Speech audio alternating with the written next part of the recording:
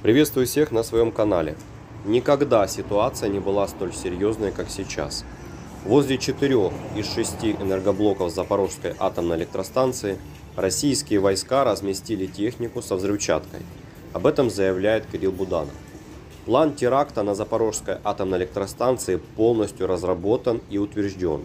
Для ускорения крушения они могут использовать технические средства. Аварии Запорожской атомной электростанции может также привести повышение россиянами напряжения на линиях электроснабжения до станции.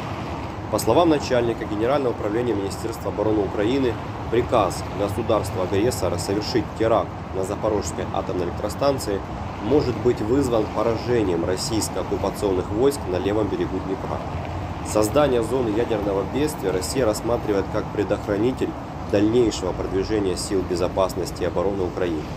В то же время, по оценке Буданова, существует риск, что Москва может осуществить атаку на Запорожскую атомную электростанцию с утечкой радиации как превентивная мера, чтобы остановить наступательную операцию Украины и заморозить линию фронта в нынешнем виде. Э, также хочу добавить, что э, слышал от некоторых аналитиков, что есть якобы два варианта вот этой вот ядерной угрозы. Э, то есть наши войска сейчас идут актив, активное наступление на юге Украины. И, соответственно, есть большие риски для Российской Федерации того, что наша армия, то есть наши военные зайдут в Крым и освободят его. Поэтому для того, чтобы не допустить этого, Россия может взорвать Запорожскую атомную электростанцию, чтобы Э, как, как было сказано выше, то есть, да, как бы сделать такой как предохранитель. Вот. Но есть еще другой сценарий, то есть если э, наши вооруженные силы Украины зайдут в Крым, то может быть нанесен удар тактическим ядерным оружием по Киеву. Еще и такие варианты рассматриваются и э, сообщается о таком.